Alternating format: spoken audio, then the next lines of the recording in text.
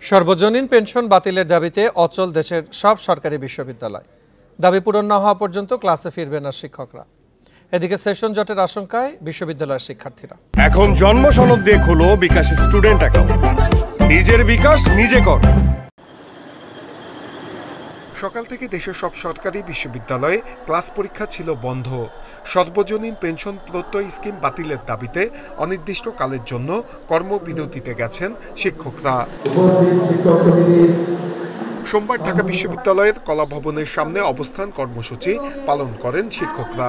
এ সময় তারা জানান, পয়লা জুলাই থেকে যারা শিক্ষক হিসেবে যোগ দিবেন, তারা ব্যাপক ক্ষতিগ্রস্ত হবেন।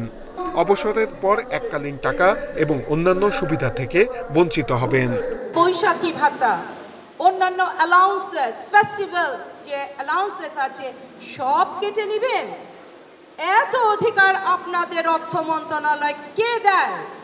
বুয়েট জাহাঙ্গীরনগর চট্টগ্রাম রাজশাহী সহ সব সরকারি বিশ্ববিদ্যালয়ের শিক্ষকও অবস্থান কর্মসূচি পালন করেন।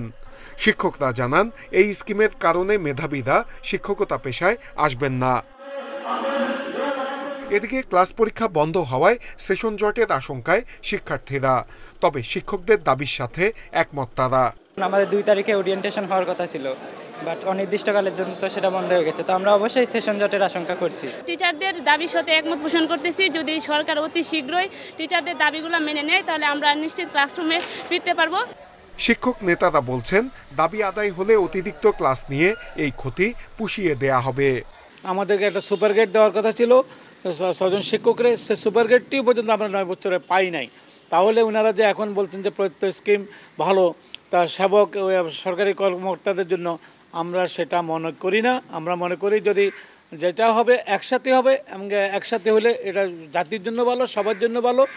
মার্চ মাসে প্রত্যয় স্কিমের প্রজ্ঞাপন জারি হয়। এরপর থেকে বিশ্ববিদ্যালয়ের শিক্ষকরা এই প্রজ্ঞাপন বাতিলের দাবিতে আন্দোলন করছে। Noore Alam, Independent News, Dhaka.